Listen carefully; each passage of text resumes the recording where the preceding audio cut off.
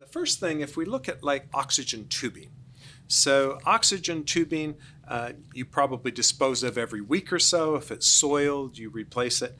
Well, if at the end of a week you look at it and you can see it is not soiled, it's not broken, there is nothing wrong with it, that you are um, able to continue its use, just extend its lifetime. Okay, you do not need to replace it. If it becomes soiled, then we uh, want to clean it. Right? So what we want to do in that circumstance is to um, just take a couple of, uh, of, different containers. These are just containers that I happen to have here. And then um, the first bin we're going to fill with just soapy water. So then we take our, our oxygen tubing and we immerse. And we're, I'm just um, sliding it around within the, the water to make sure that, uh, that both the outside and the inside are um, immersed in the soapy water. Okay?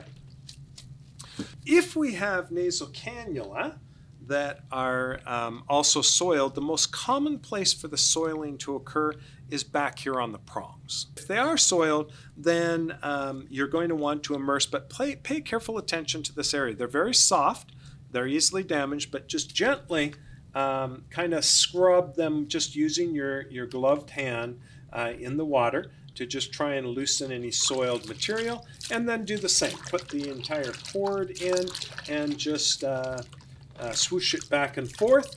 We're going to leave it there for about 10 minutes and uh, to soak and then we will come back and, uh, and rinse it and uh, we're now going to make sure that the soiled areas have, have in fact been cleaned and visually inspect. Everything looks good.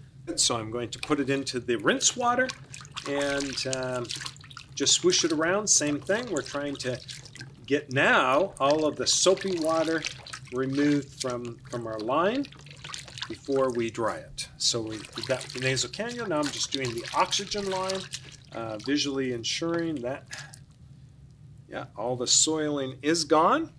And then the same thing, just Make sure you swoosh it around in the water to get the soapy water out, replace it with clean water, and again, just soak it for a few minutes. Our 10 minutes have passed, and we are back. We uh, can take it out and dry it on a nice dry towel. That is an option. You may want to just connect it this is an oxygen line. You guys know how to connect it to your oxygen source, whether it's a tank, whether it's liquid, whether it's an oxygen concentrator. Just put a little burst of air through it. If you run uh, five, five liters through there for 10 seconds, you're, you're going to use a half a liter of air, but you'll rapidly dry it out. And uh, same thing with your nasal cannula. So just a little burst of gas through will help to, uh, to alleviate uh, water in the line. Some people will just line it up on the towel and allow it to dry, and that is an acceptable pattern, okay?